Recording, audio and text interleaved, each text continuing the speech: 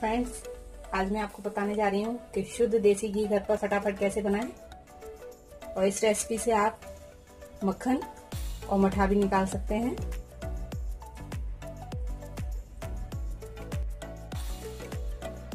Hello friends मैं हूँ शिप्रा सक्सेना। आप देख रहे हैं मेरा चैनल किचन रेसिपीज़ मेरे चैनल को लाइक कीजिए, शेयर कीजिए, सब्सक्राइब कीजिए और टिंग टिंग टिंग वाले बेल बटन को दबाना मत भूलिए ताकि मेरे चैनल की नोटिफिकेशन आपको सबसे पहले मिले।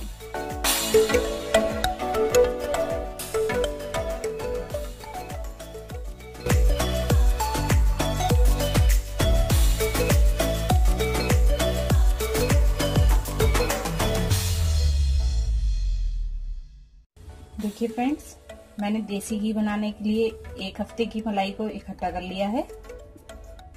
और अब हम इसे गैस पे थोड़ा गर्म करेंगे। ठीक उतना ही जितना कि हम दही जमाने के लिए दूध को गर्म करते हैं। देखिए फ्रेंड्स हमने अपनी मलाई को गैस पे गर्म होने के लिए रख दिया है।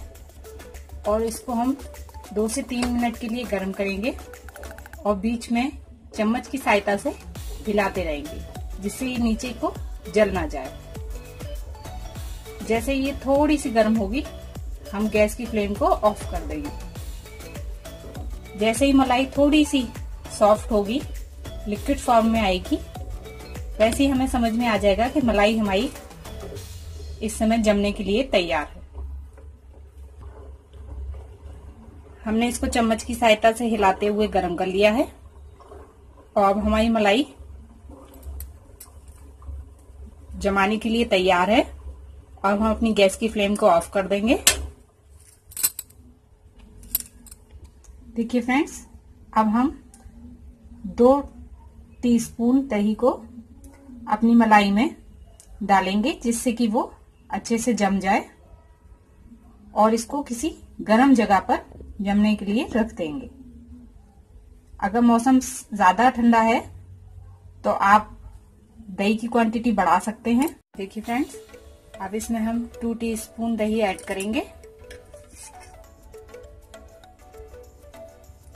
और इसको अच्छे से मिक्स कर देंगे।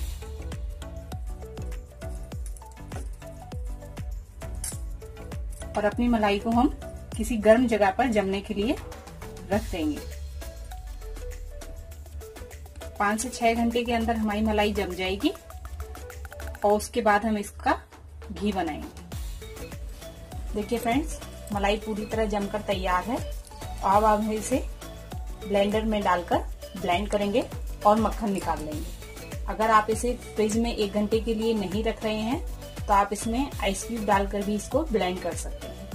मैंने इसको एक घंटे के लिए फ्रिज में ठंडा होने के लिए रख दिया था, जिससे ये थोड़ी सी हार्ड हो गई है और इससे मक्खन अच्छा निकलेगा।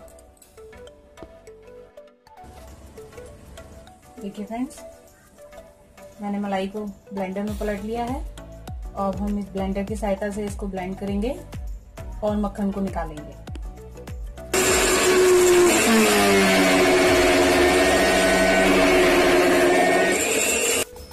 देखिए फ्रेंड्स मलाई से मक्खन निकल के पूरी तरीके से तैयार है। और अब हम इसे एक चम्मच की सहायता से कढ़ाई में पलट लेंगे।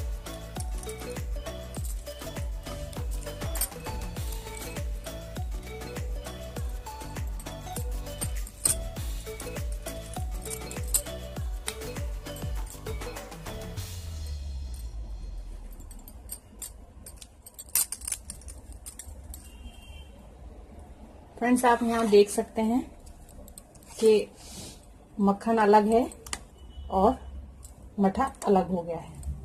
इस मठे को भी हम यूज़ कर सकते हैं। आप चाहें तो मठे के आलू या मठा जैसे आप पीने में यूज़ करते हैं या कोई भी डिश जो मठे से आप तैयार करना चाहें, वो तैयार कर सकते हैं। बस आपकी मलाई ताजी होनी चाहिए तो मठा टेस्टी निकलता है।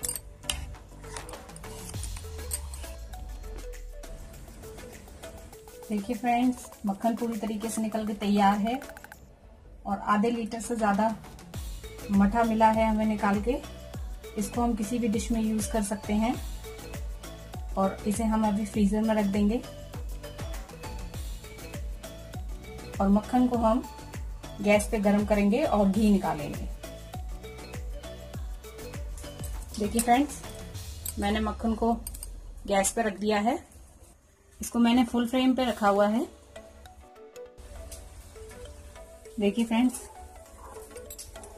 इस समय घी में उबाल आ चुका है। अब हम गैस की फ्लेम को स्लो पे कर दिया है। अब हम इसे स्लो फ्लेम पे पकाएँगे। और जैसे ही हमारा घी तैयार हो जाएगा, हम उसे छान देंगे।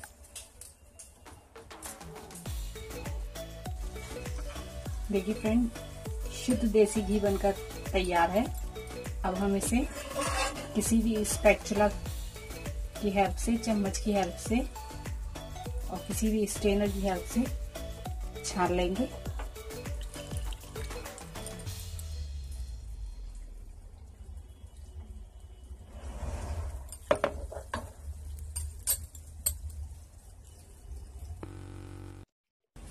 देखिए फ्रेंड्स घर का बना हुआ शुद्ध देसी घी तैयार है। घर के बने हुए शुद्ध देसी घी की बात ही कुछ और होती है। इसको आप अपने घर पर ट्राई कीजिए। मेरे चैनल को लाइक कीजिए शेयर कीजिए सब्सक्राइब कीजिए।